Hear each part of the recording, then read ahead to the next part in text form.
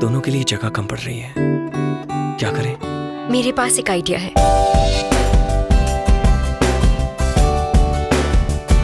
ये smart idea आया कहाँ से? हम्म, प्रेस्टीज ड्यूप्ले से।